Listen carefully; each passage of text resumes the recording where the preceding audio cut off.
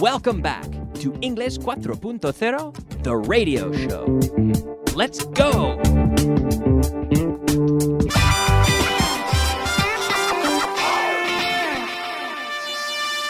Advanced. All right, yeah, hello. It's time for Advanced Class 52.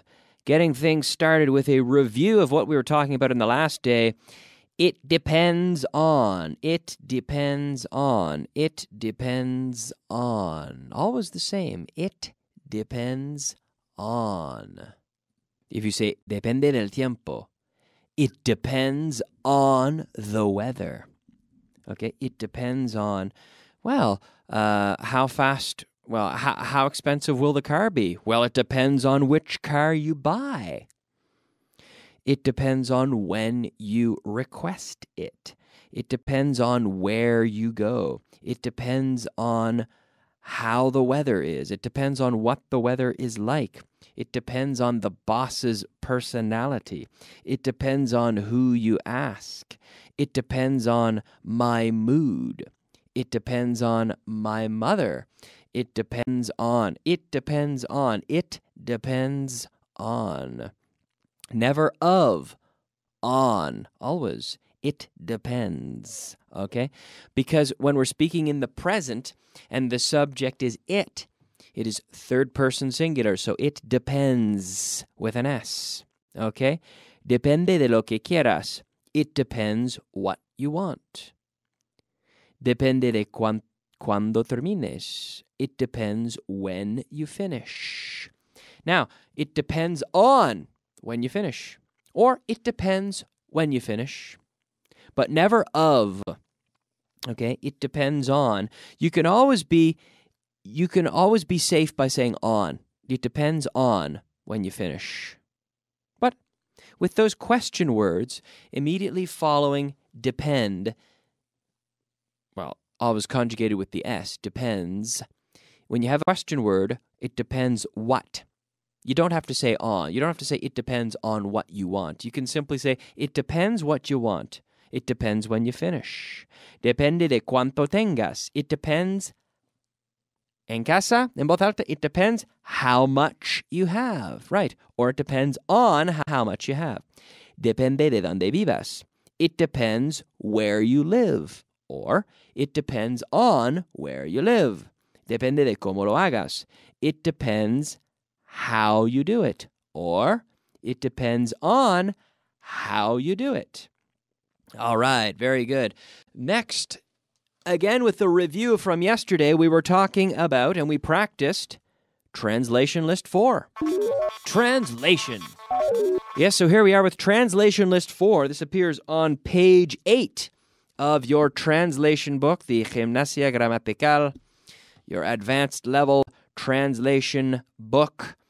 So let's give it a shot. Number one, como regla general, prefiero dejar a mi gente sola. As a general rule, I prefer to leave my people alone. As a general rule, I prefer to leave my people alone. Number two, que yo sepa, no ha habido cambios. As far as I know, there haven't been any changes. As far as I know, que yo sepa, as far as I know, there haven't been any changes. Number three, en cuanto a mí, puedes hacer lo que quieras. As far as I'm concerned, you can do whatever you want. Number four, en el mejor de los casos, tenemos suficiente dinero para llegar a mayo. At best, we have enough money to get to May. At best. Yes. No better than that, but May, yeah, that's about as late as we can go. Number five, tuvimos la oportunidad de hablar detenidamente sobre el asunto. We had the chance to speak at length about the matter. We had the chance to speak at length about the matter. Number six, ¿eres consciente de que podría ocurrir si fueras adelante con esa idea? ¿Eres consciente de lo que podría ocurrir si fueras adelante con esa idea? Are you sure of what could happen if you went ahead with that idea? Are you sure? It's dangerous. Are you sure you're aware of what could happen if you went ahead with that idea? All right. Number seven, hemos tardado meses en romper el hielo. It's taken us months to break the ice. Romper el hielo, to break the ice. Very good. Number eight, volverás con las manos vacías. Ya verás. You'll come back empty handed. You'll see. Ya verás. You'll see. You'll come back empty handed. You'll see. Number nine. Tenemos que partir de cero otra vez. We have to start from scratch again. We have to start from scratch again. Mm-hmm. Number 10. A la larga, todo saldrá bien. In the long run, everything will turn out fine.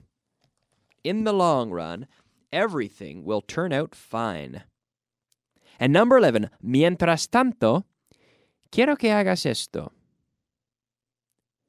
In the meantime, I want you to do this. In the meantime, mientras tanto, in the meantime, I want you to do this.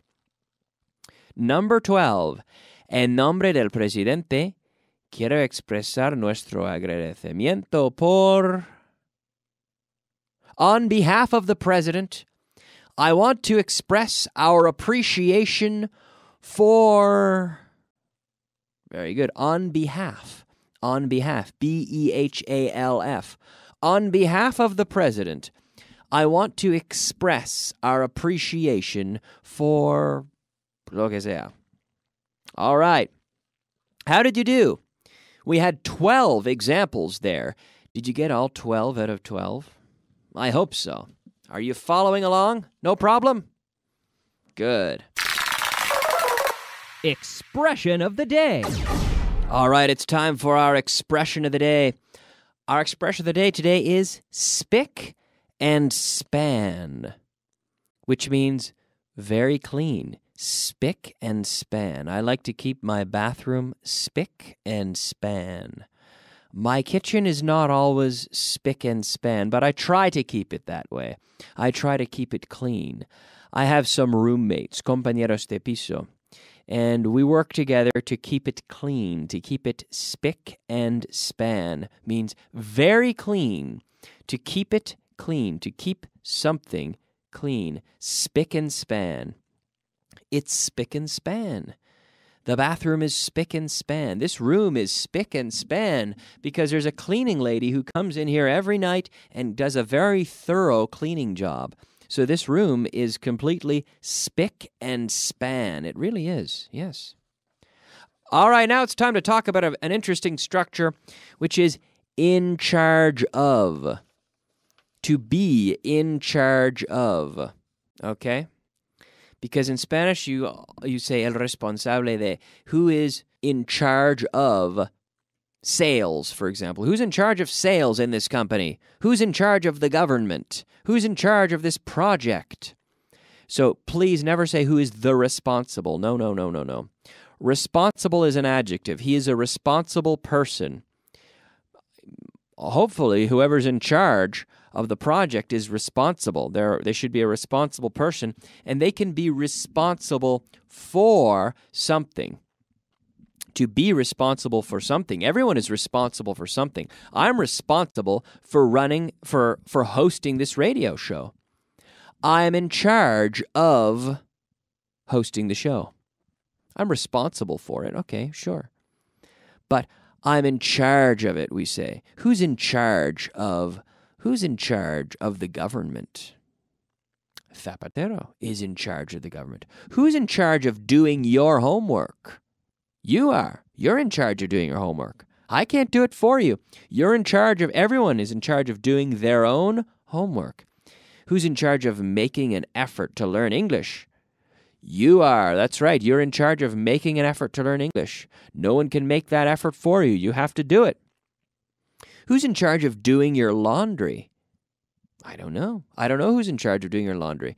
Ask me who's in charge of doing my laundry. Hey, Kyle, who's in charge of doing your laundry? I am. I'm in charge of doing my own laundry. Yes. Who's in charge of asking these questions? I am. I'm in charge of asking these questions. Mm-hmm. Mm-hmm. Who's in charge of the Vaughan Master? The Vaughan Master. Richard Bradley. He's in charge of the Vaughan Master. Yeah. Ultimately, Richard R- Richard Vaughan is in charge of really all the Vaughan products and programs, but um, there are different department heads. Yes. So, who would be in charge of watering your plants if you went away? Your mother? Your sister? You can't count on me because I'm not good at watering plants. I'm not good at taking care of plants. You shouldn't leave me in charge of watering plants if you go away because your plants might die. Someone who's good with plants, we say, has a green thumb.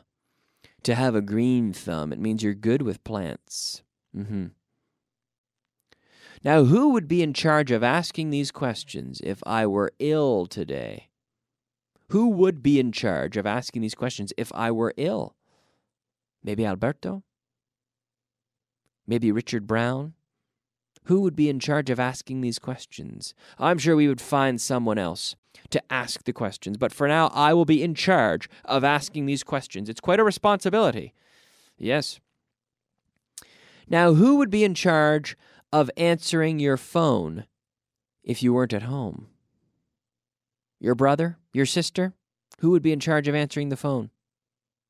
We have a receptionist here upstairs who's in charge of answering the phone. When she's not here, I believe the studio technicians answer the phone. Yeah. Mm-hmm. Who's in? Ask me who's in charge of recruiting teachers for Vaughan Systems.